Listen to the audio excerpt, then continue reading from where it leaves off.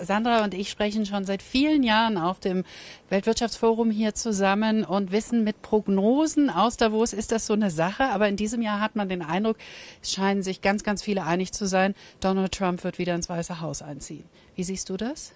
Ja, wenn ich hier mit CEOs spreche und ihnen sage, dass ich denke, wenn heute Wahlen stattfinden würde, dann würde Biden knapp zwar, aber er würde gewinnen, dann sind die immer ganz erstaunt, weil der Konsens hier zu sein scheint, dass äh, Trump das Rennen machen wird. Aber ich glaube, dass äh, diese Prognose ist mit Vorsicht zu genießen. Die Medien und auch die Meinung, die herrschende Meinung hat sich auf ein Narrativ eingeschossen und da ist dann, irgendwann dreht sich diese Denkspirale um sich selbst und dann ist es sicherer, mit der Herde zu schwimmen, weil wenn nachher der andere gewinnt, dann kann man sagen, ja, das hat ja keiner gewusst, alle haben das gedacht.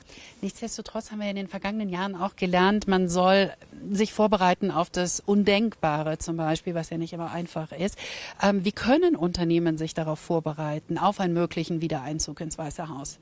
Ja, nur ganz begrenzt, denn es herrscht maximale Unberechenbarkeit. Das liegt nicht nur an Trump selbst, sondern auch daran, dass er sofort Ministerposten mit Loyalisten, mit ganz Extremen besetzen wird, den gesamten Beamtenapparat vorhat auszutauschen. Er hat gesagt, er möchte Diktator sein für einen Tag. Er hat in der Vergangenheit auch gesagt, er möchte die Verfassung außer Kraft setzen. Also da kann er am ersten Tag die sozusagen die politischen und geopolitischen Pole alle umdrehen. Und es ist sehr schwierig, sich darauf einzustellen, was können CEOs machen? Sie können versuchen, Szenarioanalysen zu schaffen, Wahrscheinlichkeiten zuzurechnen, äh, sich zu diversifizieren und vor allen Dingen auf der operativen, auf der B-Ebene Kontakte zu halten, um nah an den Informationen zu sein und auch vielleicht ein bisschen beeinflussen zu können.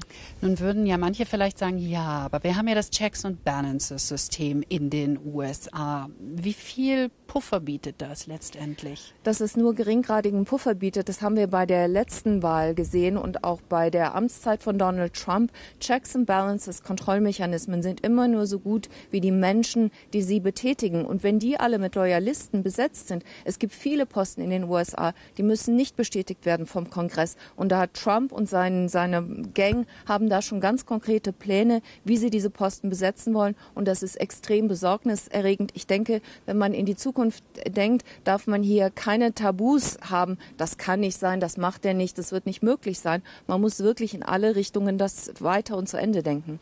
Nun habe ich den Eindruck, dass die US-amerikanischen CEOs sich ein Hauch entspannter äußern als jetzt zum Beispiel äh, Unternehmensverantwortliche in Europa.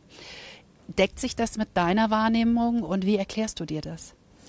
Ja, das sehe ich auch so. Das liegt natürlich daran, dass die größten Nachteile CEOs aus dem Ausland haben werden, also aus US-Sicht. Sie werden mit Sicherheit benachteiligt werden. Donald Trump hat schon angekündigt, dass er zehnprozentige Strafzölle erlassen möchte. Er kann Handelsbeschränkungen erlassen. Und wer nicht nach seiner Pfeife tanzt, der bekommt das zu spüren. Europa ist nicht in einer starken Verhandlungsposition, weil es wirtschaftlich schwach ist. Aber auch für US-CEOs kann es sehr schwierig werden, wer da nicht auf seiner Welle reitet. Also wenn es um Nachhaltigkeit geht, um politische politische Korrektheit. Wer da nicht komplett umschwenkt, der kann auch Nachteile erleiden. Und es kann auch sein, dass Donald Trump nach seinem großen Vorbild Putin versucht, eine Oligarchenwirtschaft einzurichten, wo Leute wie Mark Zuckerberg oder Elon Musk, wo die ihr Vermögen behalten dürfen, wenn sie dann einen Teil ihres Geldes und ihrer Macht an Donald Trump und seine Familie abtreten. Also auch da ist nichts unmöglich. Sandra Navidi mit eindeutigen Warnungen. Sandra, und ich bin mir sicher, wir werden noch oft über diese Thematik sprechen in den kommenden Monaten. Ich freue mich gerne. drauf. Danke. Und damit zurück nach Köln.